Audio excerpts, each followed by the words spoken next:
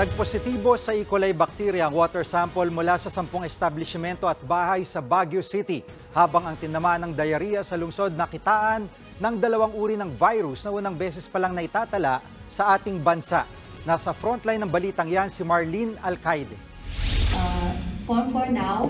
And Sa nilabas na resulta ng water analysis ng Baguio City Health Services Office, sampu sa mga kinunan ng water samples ang nakitaan ng E. coli na isang uri ng bakterya na nagdudulot ng diarrhea o food poisoning.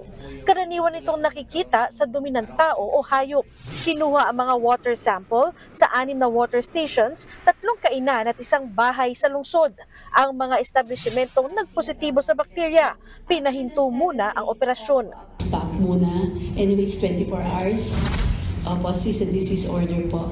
Eh, we will ask them to have, we will get another samples Sa inilabas naman na resulta ng stool analysis ng Research Institute ng Tropical Medicine sa mga nagkadayariya, lima sa sampung samples ang positibo sa sapovirus at norovirus.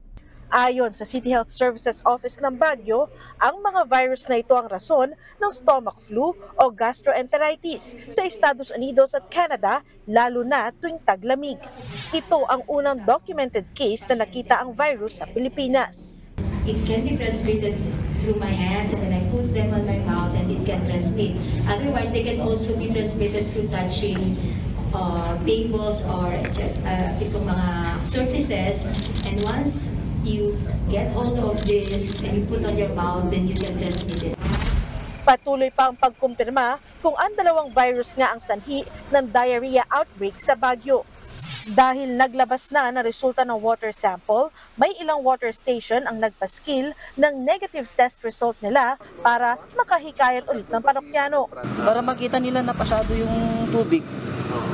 Para para sigurado dun sir.